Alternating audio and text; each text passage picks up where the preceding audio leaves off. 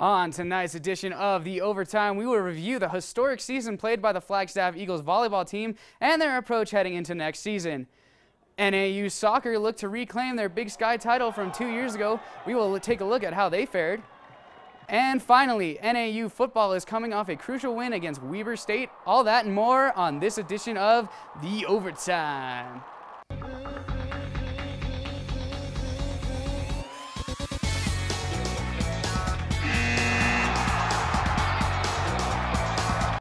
Thank you for joining us and welcome to this edition of The Overtime, Northern Arizona's only sports show. I'm your host, Sam Oceans. We have a packed show for you tonight with a lot of local sports action, and joining me is sports reporter Cordero McMurray. Cordero, how's it going?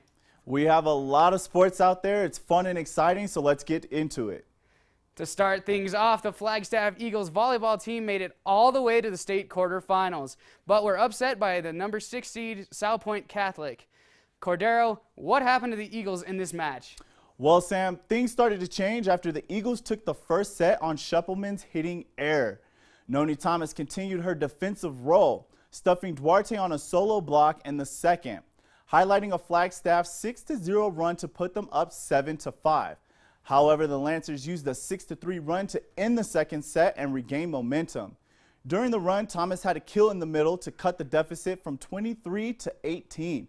But as the momentum was changing, coming down to the final moments of the game, the Lancers ended up victorious over the Eagles. Now, looking back at the Eagles volleyball season, they were the number three team heading into this match against the number six team, Salpointe. I think now that their season is over, I'm looking forward for the juniors to lead the team next year as seniors and to start their season over next year ready to rumble. Well, that sounds like both teams gave it their all, but in the end, the Eagles were stunned. All in all, the Eagles had a historic season, finishing in second place in their conference with a 15 and 2 record. And Flagstaff started the season with a massive 12-match winning streak. Not only that, but the Eagles beat their crosstown rivals, the Coconino Panthers, both times the teams faced off. The Panthers weren't too shabby either as they finished just behind the Eagles in the standings with an 11 and 6 record and also made it into the playoffs. Let's move over to the pitch. NAU soccer shook off a slow start at the beginning of the season to make it all the way to the Big Sky Conference Championship game. The Lumberjacks took on the Eastern Washington Eagles in the Eagles' first ever championship game. NAU upset the Eagles earlier in the season with a 3-1 victory in Flagstaff. However, the Eagles weren't going to make it so easy this time around. How did the Big Sky title bout play out between the Jacks and Eastern Washington, Cordero? Well, opening up the second half, the Eagles connected on their 13th attempt following a corner kick.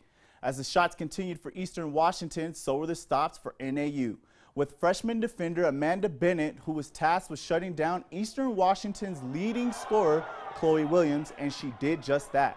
At the end of regulation, the Eagles had 18 shots and held NAU to three. Now, the Lumberjacks and Eagles went into a second overtime period. Northern Arizona maintained most of the possessions in the final 10 minutes of the overtime with two chances off corner kicks but could not connect. The Eagles won the shootout 4-3 to secure the championship and earn an automatic spot in the NCAA tournament. Now, I'm expecting NAU to use this season as a springboard for them to bounce back next year to dominate in the Big Sky Conference. This is an example of soccer at its finest. When teams have to decide a championship match on penalty kicks, that is the most exciting way to win. Another big factor in this game was the Battle of Sisters. For NAU, it was junior striker Anna Goebel and little sister Kayla Goebel, a redshirt freshman for Eastern Washington. The elder sister Anna was the main reason NAU got to the championship as she had two goals in the semifinals against Sacramento State, including the game winner that propelled them into the championship. Other than cross country, NAU volleyball is the most dominant program this season for the Jacks, and much of that success can be attributed to the outstanding play of seniors Lauren Jacobson and Jensen Barton. However, the final week of the season has become crucial for the Jacks' hopes of a number one seed after a shocking loss to Idaho State. Cordero, after this loss, is there cause for concern for the Lady Jacks? Well, Sam, the momentum was changing throughout this match. It all came down to a do or die fifth set. Idaho State broke a 4-4 tie going on a 4-0 run. Freshman Sydney Lima halted the run with a pair of kills to revive NAU and give them a 6-0 run. Redshirt freshman Hannah Cherry aced the Bengals to provide NAU with a 10-8 lead, Both of the teams battled, but the Lumberjacks got to a match point first at 14 to 13 following a Bengals attack error. And as momentum continued to bounce back and forth between the teams, Idaho State took command to clinch the match. With such a nail-biting game, I think NAU is looking to regroup and focus on polishing up some errors and some miscommunication. They play against Southern Utah next, and well, using this close loss to fire up the team, I think NAU can come out with this strong win. Yeah, and beating Southern Utah is crucial for NAU if they want home court advantage and the number one seed. The Jacks have an 11-3 record in conference and are chased closely by Sacramento State, who are on a hot streak, and the resilient Idaho State Bengals. NAU played an equally important match against the leader of the Northern Conference, North Dakota, yesterday. Results for that game can be found at nauathletics.com.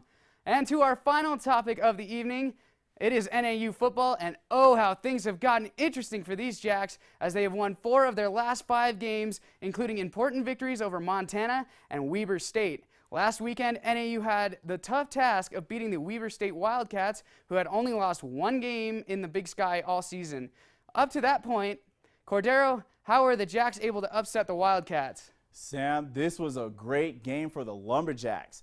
Weber State's defense was averaging 397 yards allowed per game, and NAU put up 503 as Joe Logan rushed for 74 yards and Kendall Taylor broke free of a tackle for 60 for 61 yard touchdown run out of that Wildcat formation. This helped spark some energy within the Lumberjacks as the lead had been cut down to 26 to 20. Now with the Lumberjacks leading the way and finishing the game strong with a win, the Lumberjacks are still in the reach for the playoffs. Looking at their last four games that they have won, I'm expecting them to ride this hot streak to their advantage as they travel to North Dakota next week. The one thing for NAU to focus on is executing defensively to come out with a solid win against North Dakota. Yeah, Cordero, you mentioned the elephant in the room. NAU will take on the number one team in the Big Sky tomorrow in North Dakota. The Jacks will look to be the first Big Sky team to beat North Dakota this season. However, I believe that NAU's defense has found their stride the Jacks may have a fighting chance as North Dakota has scored 20 points or more eight times this season. On the offensive side, look for breakout running back Joe Logan to continue his impressive season. Logan is averaging 95 yards a game, and even though North Dakota has a great rush defense, Logan will still play a factor.